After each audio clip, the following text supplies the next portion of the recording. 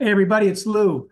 What do Izmir, Turkey, population 3 million, and Woodstock, no, not this Woodstock, this Woodstock, Georgia, have in common?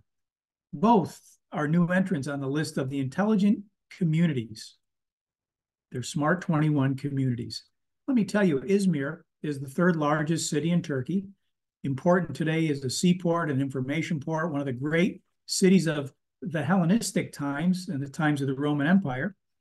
It became important because of overseas trade and the Silk Road. Uh, the message here is it's like a really old city. Woodstock, Georgia is a lot younger, quite a bit.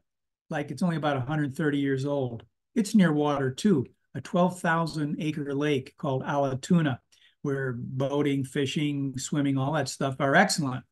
It is also home to Georgia's newest premium outlet mall, with 100 stores. They like that down in Woodstock. Now, what connects them? They are small cities in the process of making big leaps, which has become characteristic of ICF cities. So, how do small cities make big leaps?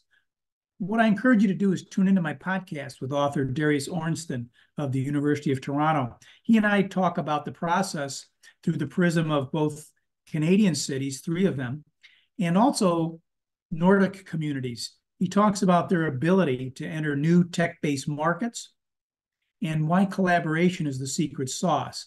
And he wrote a book called When Small States Make Big Leaps. So the relationship now between cooperation and economic change cannot be underestimated.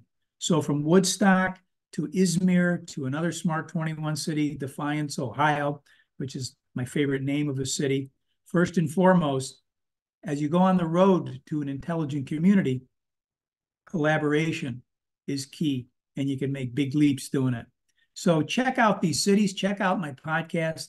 And in the meantime, remember, there really is no place like home. Congratulations to the new Smart 21. Take care.